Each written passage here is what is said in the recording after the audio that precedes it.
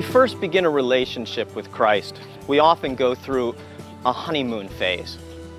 Our relationship, our fellowship has been restored with God, our sins have been forgiven, everything's great. And it is great. But in a fallen world, great is not perfect. And it isn't long until the honeymoon ends. And we find ourselves taking some significant baggage into our relationship with Christ. God has given us a new heart, new motivation, new direction, but our old self didn't move out during the honeymoon. He's just been hiding in the garage. C.S. Lewis once said, You only know the strength of the wind when you try to walk against it. And what Lewis was saying is, you only know the power of sin when you try to stop. And so it's now, as believers trying to walk with God, that we start to struggle for the first time with sin and guilt.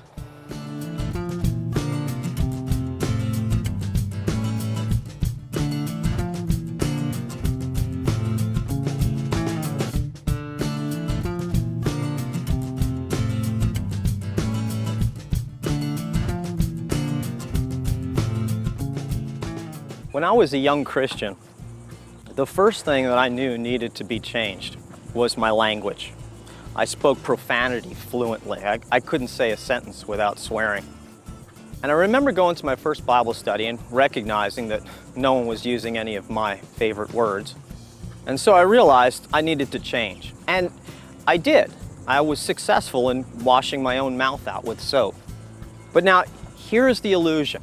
Anyone can change a bad habit. Anyone can make a, a New Year's resolution. I, I can stop myself from speeding in a car. But changing road rage, anger, impatience, these things are deeper issues. And I think we find ourselves as we grow in holiness, drifting out into these deeper waters and realizing that so much of what we do is really just surface behavior and that there's deeper sin underneath. I think at that point we realize we're in over our head. I think at that point we realize we can't transform ourselves. But it doesn't stop us from trying anyway.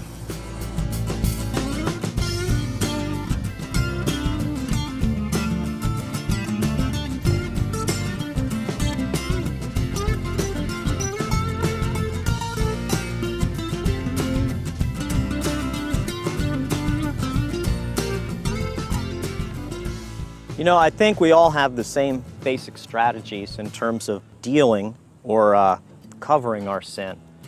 Uh, but first, reflexively, uh, I think we just try harder. We, uh, we thrash around and we give more effort, and when that doesn't end up being fruitful, we just, um, uh, you know, we, we gird our willpower with vows and promises. I'll never do this again. I'll never do this again. Then we do it again. And uh, to keep our head above the surface, we kind of move on then to rationalization or denial. And I, I, think, I think our twisted thinking here is, you know, if it wasn't officially sin, if it wasn't technically sin, oh, then it's not sin. Or if someone else caused me to do it, then it's, uh, then it's not sin. Well, that doesn't always work out. And so we default to some kind of self-loathing. Who needs Jesus to die on the cross when we can just crucify ourselves? And so we just beat ourselves up. Idiot, why did you do that again? I guess somehow uh, feeling like we're able to pay the penalty for our own sins. Well, at this point, all of the joy, all of the vitality is drained out of the Christian life. Our walk with God is nothing more than sin management, just going through the motions.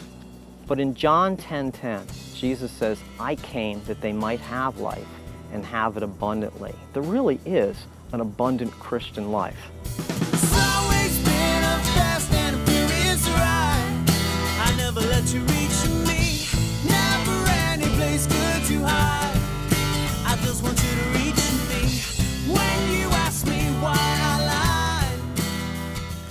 Now that we're believers, confession is God's provision for our sin. And there are three components to confession. The first is the most difficult not because it's that hard, but because it's foreign to us. What we need to do is when we've sinned, or rather when we feel convicted of sin, we need to stop and agree with God that what we've done is sin. In 1 John 1 9, it says, If we confess our sins, he is faithful and just to forgive us our sins and cleanse us from all unrighteousness. Second, we agree that what Jesus did on the cross paid the penalty for that sin. And third, we agree to turn from that sin and turn back toward God, which we call repentance. If you think about the process that you went through when you came to Christ, at some point in time, you realized that you had a sin problem. For instance, let's say as I'm fishing here, my mind begins to wander, okay? And uh, let's say it drifts to that woman whose bathing suit barely covers her over there, okay? Now, at some point I become convicted about my sin, that, that I've lusted. Okay, now I have several options. I can, I can rationalize it. Hey, I'm, I'm just a guy. You know, what can I do? I, I can justify it. Um, hey, it wasn't like I committed adultery or anything. I, I can blame, what, you know, what is she doing out here dressed like this? Or, uh, or I can confess. I can agree with God that what I've done is sin. Lord Jesus, I lusted in my heart and my mind. Forgive me. I agree that, that Christ has paid the penalty for that sin. Lord, thank you for paying the penalty for my sin. And I agree to turn from it. Lord, I don't want uh, to be lustful. I want to live a pure and holy life. That's the process of confession. We do it daily, we do it hourly, as often as we sin.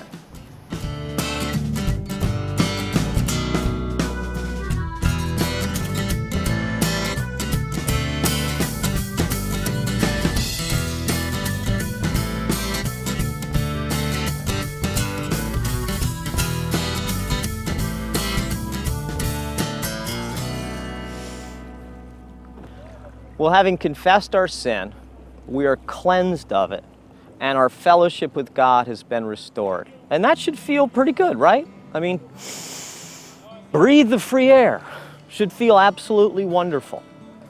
But we do have one last issue, and that's this. How are we going to keep from falling back into the same sin again and again and again? I think as Christians, we all realize that we have eternal life and that we've been forgiven for our sins. But a lot of times I think we forget that God's Spirit indwells us. That we haven't been left on our own to follow after Jesus in our own strength and effort. God's indwelling spirit desires to lead us, and direct us, and empower us, to motivate us. In fact, in Ephesians 5 8, 18, God actually commands us. He says, Be filled with the Spirit. Now, it's a partnership. We have a role to play. God's role is to lead, direct, and empower. Our role is twofold. First, we need to abide. Abide is a word that Jesus uses, and it literally means make yourself at home with. Our responsibility is to make ourselves at home with Jesus throughout the day. And that means being as intimate with Him throughout the day as we possibly can be. That means we don't just pray once a day, but we pray throughout the day. That means that anytime uh, we see something, we give thanks. We give thanks all day long, praising God throughout the day. Whenever anything comes to our mind that we want to praise God for, just praising Him and confessing sin. Whenever sin comes up in our life and we feel convicted by the Spirit, confessing it as we give thanks and praise and confess and pray we are staying intimate with God throughout the day. We are abiding with Him. And as a result, the Spirit is fully free to empower and influence us. The second thing is reliance. Um, if you've ever noticed people walking around continuously with their water bottles or a cup of coffee, what they do throughout the day is, is whenever they have a, a need, they take a sip. It's kind of a, a a reliance mechanism. If they're lonely, they take a sip. If they're uh, scared, they take a sip. If they need to be thoughtful, they, they take a sip.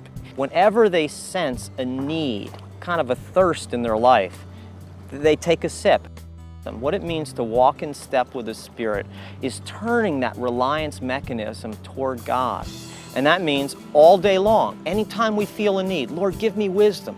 Lord, I need strength right now. Lord, I don't know what to do. I, Lord, give me direction. As we do those two things throughout the day, relying on God all day long, abiding with Christ, staying as intimate as we possibly can with Him, as we do those two things, God's Spirit is able to lead and direct and empower us. I wish that you would come back to the surface and breathe the air. And leave it all down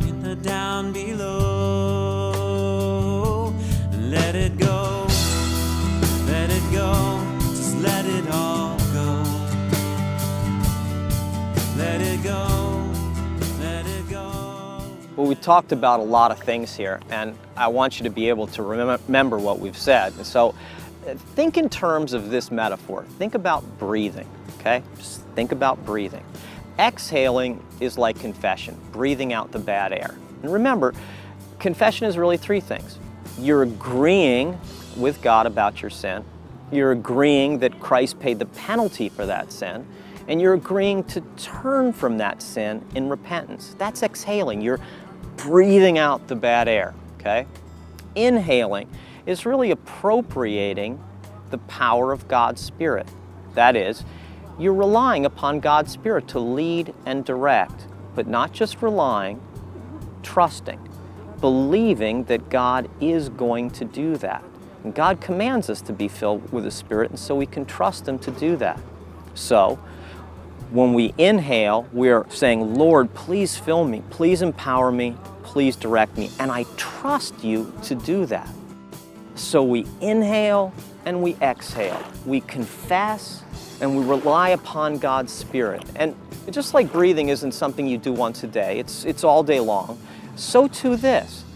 All day long, inhaling and exhaling. If whenever, whenever there's sin, whenever something that comes up that disconnects you in some way from the Lord, it is exhaling, confessing, and inhaling, trusting God's Spirit to lead and direct. Now, at first it might seem just a little bit awkward, but trust me, uh, within a short time it'll be as natural as, well, breathing.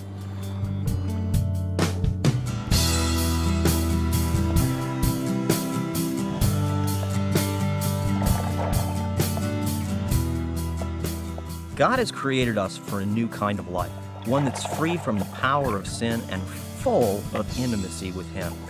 It's a life better than any human mind is capable of imagining. But now imagine this. Imagine trying to scuba dive with your air tank running on empty, submerged under the weight of all that water, completely cut off from your oxygen supply. That's why it's so important to draw on the power of the Holy Spirit through spiritual breathing. Without it, we're cut off from the spiritual resources we need to live the Christian life. The sheer weight of our own sin and human limitations overwhelms us. It crushes us, and we can't maintain it.